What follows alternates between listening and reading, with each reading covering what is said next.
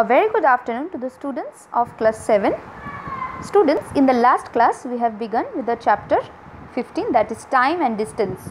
We have worked out a few sums and today we are going to work out some more sums of let's work out 15. We are going to do question number 4. It is given I covered a distance of 12 km in 40 minutes in a bus.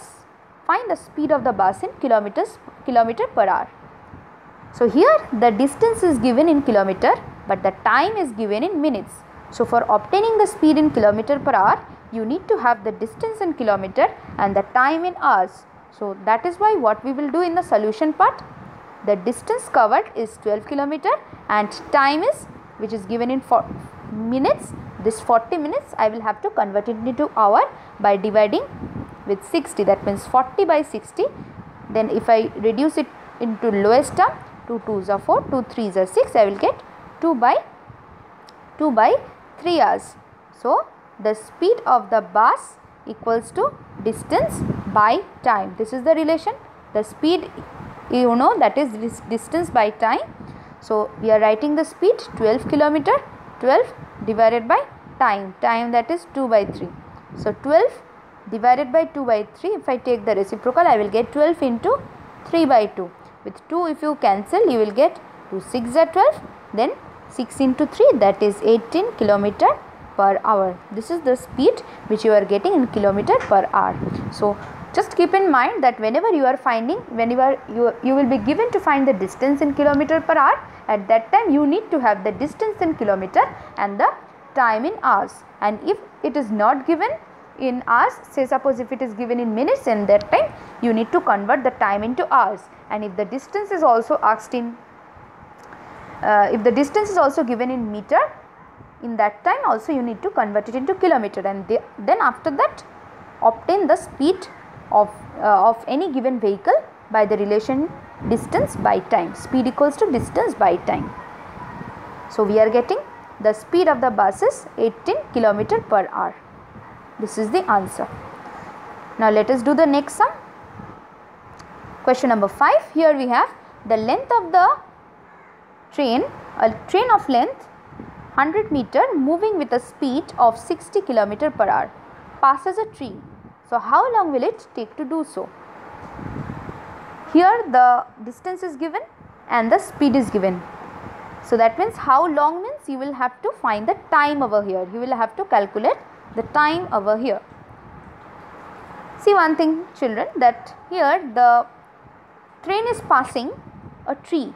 So, in last class I have told you that whenever the train is passing any tree or a pole or a person then the width of such objects is considered as negligible and the total distance covered will be equal to the length of the train itself.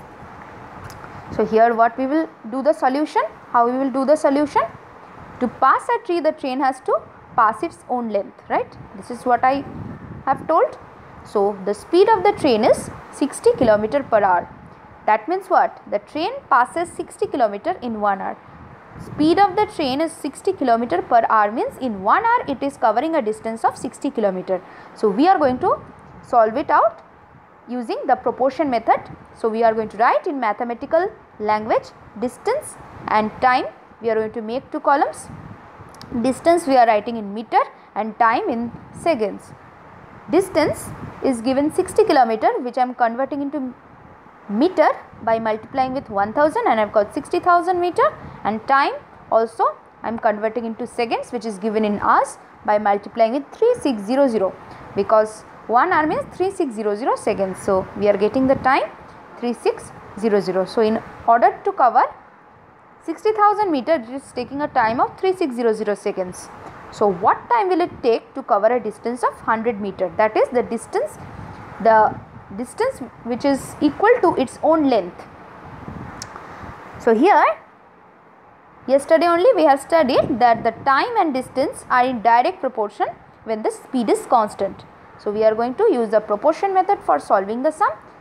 See as they are in direct proportion, so you will write first quantity by first one by second one that is proportionate to this arrow downwards means 60,000 by 100 equals to 3600 by the unknown quantity. So, if I write this in this way that 60,000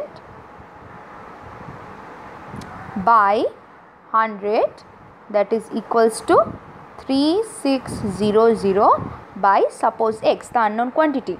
Here if we cross multiply then we will see that we will obtain the value of x as x equals to 3600 into 100 by 60,000 by 60,000. So, in this way the calculation has been done to obtain the time required which is uh, coming up to 6 seconds after calculation. So, the answer is the train will take 6 seconds to pass the tree.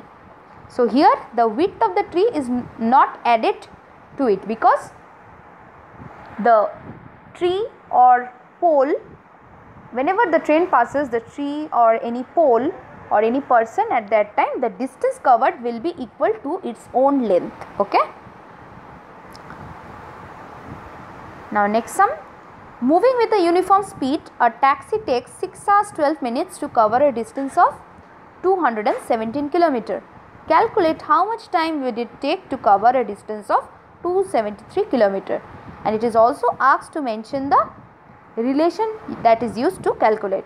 So, here at first the time is given which is 6 hours 12 minutes. Now, this hour part I am multiplying with 60 and after that adding 12 with it and we are getting the time into minutes converting hours and minutes into minutes and after that we are getting 372 minutes. So, 6 hours 12 minutes is equals to 372 minutes. So, in mathematical language we have distance time we will make two columns like this and we will find that it is taking 207 it is covering a distance of 217 kilometers in 372 minutes. So, what time will it take to cover a distance of 273 kilometers according to the problem. So, first write the relation that distance and time are in direct proportion okay distance and time are in direct proportion whenever the speed is constant. So, whenever any two quantities are in direct proportion, we are going to write both downwards that 217 is to 273 that is proportionate to 372 is to dash that is the unknown quantity. So, if we cross multiply we will find that we are getting the time as 468 minutes. Suppose 217 is 2 means we can convert it into by 273 that is equals to 372 by suppose x we are taking the value of the unknown quantity. So, if we cross multiply then we will find that the value of x can be obtained by multiplying these two if we cross multiply 273 into 372 divided by 217 then after that cancellations has been done and we have got the required time as 468 minutes. So, now if I convert 468 minutes into hours and minutes what will I do? I will have to divide by 60. So, division has been done in the rough. This 460 over here it has been the division has been done and after that we are getting 7 hours 48 minutes. This 468 if I divide with 60 you will get what? If I multiply with 7 you know that 7 6 are 42 so 420 you will get. And after that this 8 will be this 48 will be the remainder. So you are getting 7 hours 48 minutes. 7 hours 48 minutes. So the answer is it is going to take 7 hours 48 minutes to cover the distance. Okay?